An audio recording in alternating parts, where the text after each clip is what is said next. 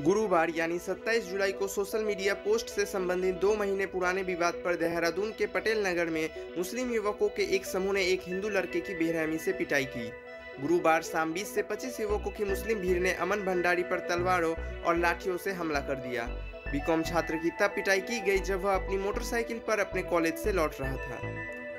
पीड़ित को कई चोटें आई और फ़िलहाल वह पटेल नगर के श्री महंत इंद्रेश अस्पताल में भर्ती है। पुलिस के मौके पर पहुँचने से पहले ही मुस्लिम हमलावर भाग निकले। अमन भंडारी पर हुए क्रूर हमले के बाद कई हिंदू संगठनों ने विरोध प्रदर्शन किया और घटनास्थल पर खड़े एक आरोपी के स्कूटर में तोड़फोड़ की। कई हिंदू कार्यकर्ताओं ने उस अस्पताल में भी विरोध प्रदर्शन किया जहाँ पीड़ित अमन का इलाज चल रहा है।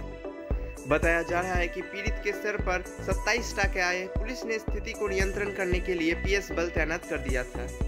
विशेष रूप से यह मामला अमन द्वारा कथित तौर पर मुस्लिम समुदाय के खिलाफ निर्देशित एक सोशल मीडिया पोस्ट से जुड़ा है। मामला जल्द ही एसएसपी कार्यालय तक पहुँच गया, जहाँ एसएसपी ने अमन के साथ सोशल मीडिया पोस्ट को हटाकर विवाद को सुलझाया।